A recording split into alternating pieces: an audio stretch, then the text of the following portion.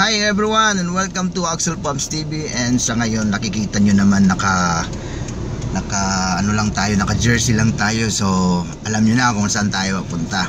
Uh, pupunta tayo ngayon sa Tolosa na ngayon ay parang hindi, hindi pa rin ako nakapunta ron pero ayun sabi nila okay daw dun. And pansin nyo bagong haircut tayo.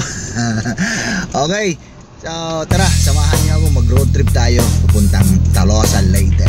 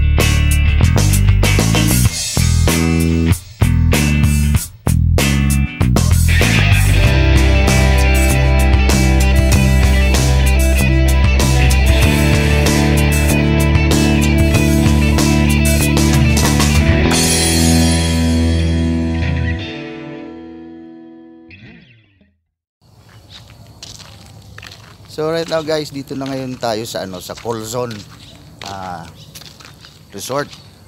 Colzon Serenity Resort. Ayan.